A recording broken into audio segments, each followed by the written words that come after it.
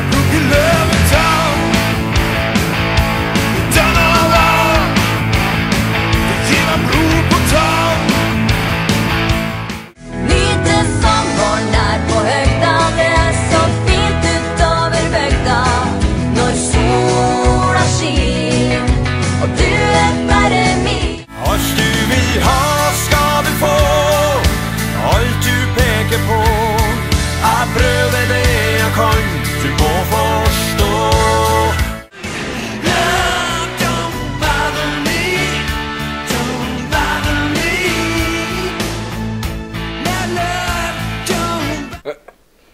Ja, da sitter jeg her sammen med to stykker som skal være med meg og Hasselvika Musikklag og Samfunnshuset og arrangere Vinterfesten 2012 i Ressehallen 3. mars.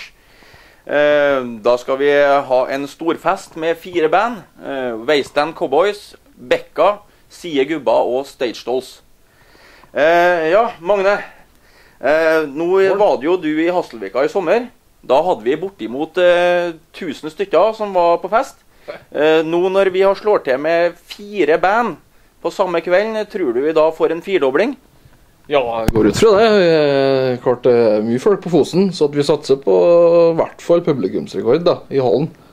Det har jeg stortrua på at vi får til. Det blir jo storfest, vet du. Eh, Stage Dolls eh, jeg vet ikke når dere sist spilte på Fosen, så jeg regner med at det kommer mye folk bare for å høre på dere. Eh, men eh, hvordan erfaring har du med Fosen-publikummet? Er det noe råskinn til fester? Ja, det er jo det. altså I min ungdom vet du, så drev jeg og spilte på Fosen på torsdagene og hadde fulle hus. Så det er et satans til festpublikum, da. Ja, Da bør det være ganske bra odds da når vi nå kjører på en lørdag og i storstua i Ressa, ja, på, i Ressahallen. Ja, eh, Har dere trua på at det blir en knallfest i Ressahallen eh, 3. mars? Ja, vi skal kjøre på med storfest, vi, så vi satser på fullt hus. Og inviterer hele Fosen på fest. Det er godt. Ønsker alle sammen velkommen til Ressehallen 3. mars til vinterfesten 2012. Årets største og beste fest på Fosen. Ha,